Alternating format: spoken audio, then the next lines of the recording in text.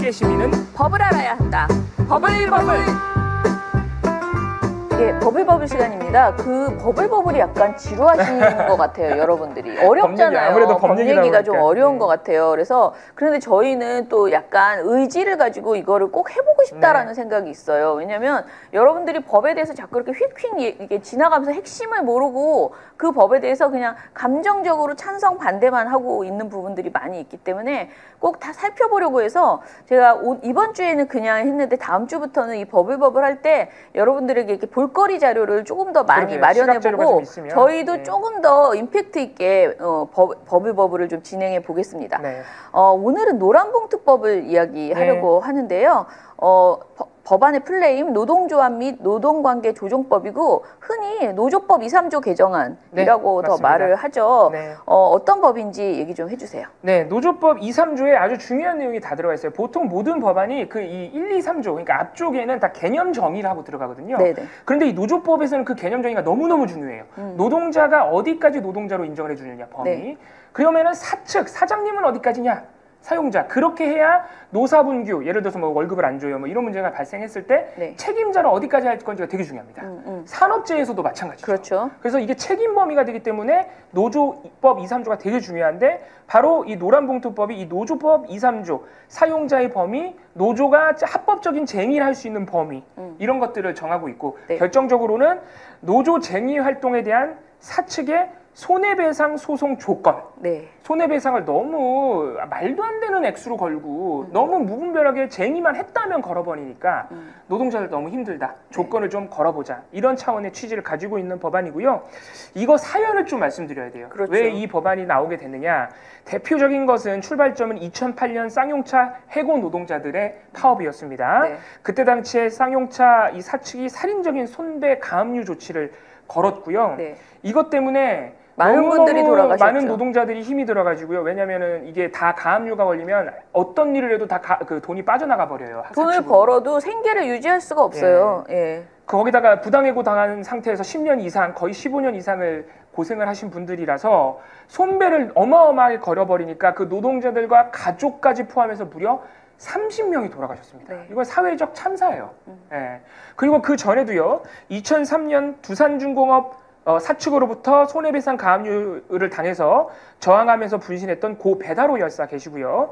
한진중공업의 손배소 청구로 스스로 목숨을 끊었던 고 김주익 열사 네, 계십니다. 네, 네. 이런 분들 이어서 쌍용차에서 무려 30명이 돌아가시다 보니까 음. 시민분들이 나서기 시작했어요. 시민단체 포함해서 시민분들이 특히 그때 당시에 이제 그 시사인에서 이거를 보도하기 시작하면서 야 이거는 우리 시민들이 막아주자. 네. 이. 손배를 우리가 n분의 1로 나눠서 전 국민이 같이 내주자 이런 네. 개념이죠. 그래서 그- 노란 봉투로 맞아요. 돈을 보낸 거죠. 그 네. 사측의 살인적인 이 말도 안 되는 손배 가압류 시민들이 대신 내줄게 음. 노동자들 목숨은 구하자라고 네. 음. 시작됐던 노란 봉투 운동 거기에 또 어, 가수 이효리 씨가 또 동참을 해주면서 이게 화제가 됐고 그쵸. 그런데 그게 2008년이면 벌써 15년이 지났거든요. 네네. 이게 아직도 이 법이 안 되고 있고 이번에 또 윤석열 대통령이 거부권을 행사했습니다. 네.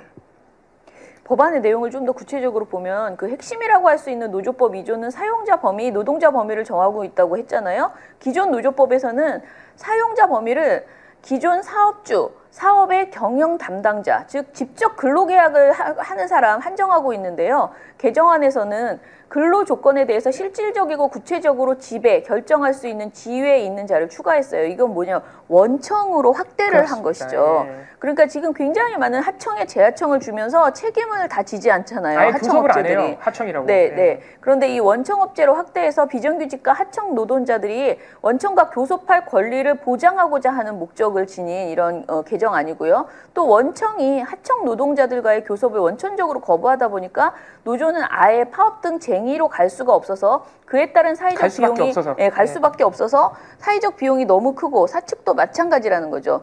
그래서 애초에 쟁의로 가지 않게 교섭권을 보장하자는 겁니다. 네.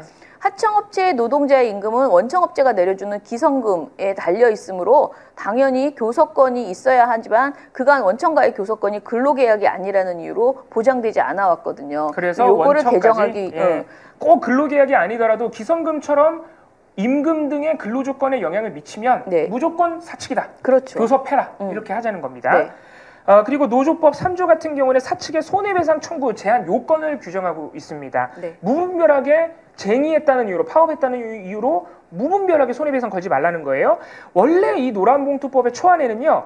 원칙적으로 파업을 했다는 이유로 손배소를 걸 수 없다. 네. 아예 파업에 대한 손배소를 금지하려고 그랬어요. 음. 왜냐하면 실제로 유럽의 나라 중에는 다수가 이런 조항이 있어요. 네. 예, 그래서 그렇게 하려 그랬는데 심지어는 청구에게 상한도 걸고 손해배상에게도 제한을 걸려고 했는데 음. 이런 내용들이 다 여당과 기업들의 반대가 너무 네. 심해서 예. 이것도 어느 정도는 야당에서 양보를 했습니다. 그건 다 뺐고요. 그럼 뭘 넣어놨느냐? 손해배상을 파업에 대해서 청구를 사측이 하더라도 배상 의무자별로 귀책 사유와 기여도를 개별적으로 다 따져서 음. 손배에게 산정 근거를 사측이 입증해라. 네. 그러니까 그동안에는 어떻게 손배를 걸었냐면요. 하, 그 노조 조합원이라는 이유만으로 그 노조에 뭉퉁그려서 몇백억이라고 손배를 때려버리는 네. 거예요. 네. 그러면은 사실 한명 한 명 조합원이라고 해도 그 파업에 참여를 안 했을 수 있어요. 그러니까 파업 집회, 파업은 같이 했겠지. 집회나 이런 활동에 참여를 안 했을 수 있는데 노조 조합원이라는 이유로 그 300억의 책임을 같이 져야 돼. 음, 음. 그런 식으로 되다 보니까 이게 스스로 목숨 끊는 분들이 나오는 거예요. 아 그리고 네. 사실 그 손해를 봤다는 금액 자체도 사실 정확한 어마어마해요. 금액이 네. 아니에요. 네, 그러니까 그것도 과장되게 굉장히 세게 그렇습니다. 만들어서 그래서 어, 어. 이 노란봉투법이 실제로 그 사측이 피해를 봤다고 하는, 그 쟁의 활동에 그 개인 조합원이 참여했는지를 입증해라. 네. 그리고 그 기여도도 입증해라. 그리고 손배에게 산정 근거도 좀 구체적으로 가져와라. 그렇죠. 이렇게 요건을 써놓은 것입니다. 네. 자, 이 좀 전에 댓글을 보니까 그래서 문재인 정부 때도 이 노란봉투법이 안안 된. 거죠라고 예. 했는데 음. 맞습니다. 이게 문재인 정부가 이게 그 노란봉투법이 사실은 국정 과제였고요. 네. 그리고 더불어민주당과 대선의 총선 공약이기도 했습니다. 하지만 계속 이것이 그 반대가 너무 거셌고요. 네. 이 기업 측 입장에서는 마치 이 법이 통과되면 자신들은 이 우리나라에서 기업 못한다 거의 이런 수준의 그 반발을 하고 있었거든요. 작년 12월에도 이제 대통령이 거부권을 행사하면서 결국 노란봉투법이 폐기됐습니다. 지금 언론 그리고 언론의 뒤에 있는 이 기업들 아주 그 사실은 우리나라 언론은 기업이 굴리고 있는 네. 것이잖아요. 그런데 기업들 그리고 여당과 정부는 이 법을 황건적 법이라고 이렇게 하고 있어요. 이게 전 황건적의 난 그- 전 처음에. 예, 네. 그 황건적의 난에 비유해서 거기 그 이름 황건적 법이라고. 근데 이게 되게 그 황건적의 난이 나쁜 난도 아니에요, 사실은. 그렇죠. 사실은 먹고 예. 살기 힘들어서 이제 밀란이 일어났던 농주. 예, 네. 그, 그 네. 농민의 밀란인데 그거를 굳이 여기다 갖다 와서 무슨 도적 도적대 같은 법을 그러니까 만들려고 노조를 하는 것처럼 도적으로 보고 있는 것이죠. 예, 네. 이런 별명을 붙이고 있고 불법 파업을 조장한다라면서 공격을 하고 있습니다. 근데 저희가 지금 예, 말씀드린 것처럼 어떻게 보면은 살, 그 노동자의 생존을 위해서 반드시 필요한 그런 법이에요. 왜냐하면 지금 현재 법으로는 이런 것들이 다 빠져나가서 노동자를 죽음에 이르게 하는 네. 그런 상황이 계속 일어, 일어났던 거예요. 이게 그냥 망상이 아니고 실제로 너무 많은 분이 고통 속에서 살고 네. 계십니다. 그러니까 이게 네. 파업을 부추기는 법이 아니고요. 오히려 파업을 줄이기 위한 목적을 가지고 있는 법이에요. 네, 네. 되도록이면 교섭을 하라, 해라. 음. 너네는 교섭을 해야 되는 자격이 있다. 라는 것을 명확하게 규정하자는 취지를 가지고 있는 것이지. 네, 네. 그래서 실제로 이런 법이 제정됐을 때 파업이 생기는지 안 생기는지 보면 되잖아. 보면 그렇죠. 되는데 그걸 못하게 하는 거죠. 지금. 네.